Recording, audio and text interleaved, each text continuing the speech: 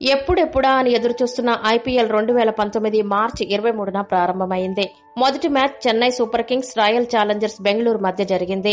ఈ సీజన్లోనైనా royal Challengers జట్టు అద్భుతమైన ప్రదర్శన కనబరుస్తుందని అభిమానులు భావించారు. కానీ అభిమానుల అంచనాలను తలక్రిందులు చేస్తూ రాయల్ ఛాలెంజర్స్ జట్టు అత్యంత ఘోర ప్రదర్శన కనబరిచి అభిమానులను తీవ్రంగా నిరాశపరిచింది. మొదట బ్యాటింగ్ చేసిన రాయల్ ఛాలెంజర్స్ జట్టు పదిహేడు పాయింట్ ఒక్క ఓవర్లు ఆడి కేవలం డెబ్బై పరుగులు చేసి ఆలౌట్ అయింది. పార్థివ్ పటేల్ మినహా ఓపెనర్గా వచ్చిన విరాట్ కోహ్లీ నుంచి చివరి బ్యాట్స్మెన్ వరకు ఒక్కరు కూడా క్రీజ్లో నిలదొక్కుకోలేకపోయారు ముఖ్యంగా చెన్నై జట్టు స్పిన్ మాయాజాలాన్ని ఎదుర్కోలేక అందరూ వరుసగా పెవీలియన్ చేరడం ప్రారంభించారు. పార్థివ్ పటేల్ ఒక్కడే ఇరవై తొమ్మిది పరుగులు చేశాడు. చెన్నై జట్టు బౌలర్లలో హర్భజన్ సింగ్ మూడు వికెట్లను పడగొట్టి టాప్ ఆర్డర్ బ్యాట్స్మెన్ని అవుట్ చేసి బెంగళూరు జట్టు నడ్డి విరిచాడు. మరో స్పిన్నర్ ఇమ్రాన్ తాహిర్ మూడు వికెట్లు రవీంద్ర జడేజా రెండు వికెట్లు బ్రేవో ఒక వికెట్ పడగొట్టాడు.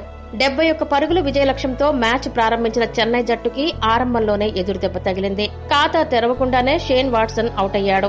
కానీ ఓపెనర్లలో ఒకరైన రాయుడు ఇరవై ఎనిమిది పరుగులు ఆ తర్వాత వచ్చిన సురేష్ రైనా పంతొమ్మిది పరుగులు చేసి కొద్దిసేపు జాగ్రత్తగా ఆడి చెన్నై జట్టును గెలుపు తీరాలకు చేర్చడంలో కీలక పాత్ర పోషించారు. మొత్తానికి ఈ ఐపీఎల్లో హాట్ ఫేవరెట్ అయిన చెన్నై జట్టు అద్భుత ప్రదర్శన కనబరిచి మొదటి మ్యాచ్లో గెలిచి ఖాతా తెరిచింది.